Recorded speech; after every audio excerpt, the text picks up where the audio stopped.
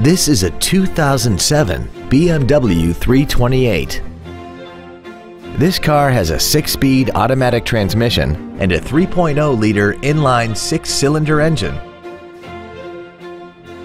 Its top features include a sunroof, heater vents for rear-seated passengers, cruise control, a premium audio system, a leather-wrapped steering wheel, a multi-link rear suspension, heated washer fluid, a low tire pressure indicator, steering wheel mounted controls, and this vehicle has less than 40,000 miles.